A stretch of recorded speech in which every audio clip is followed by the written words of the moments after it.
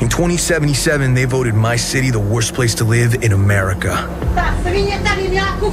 Main issues sky high rate of violence, and more people living below the poverty line than anywhere else.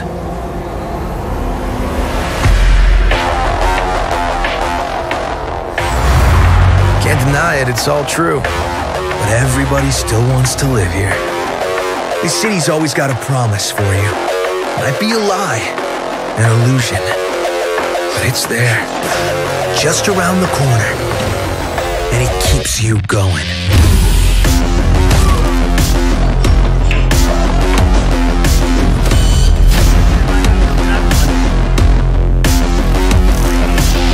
It's a city of dreams, and I'm a big dreamer.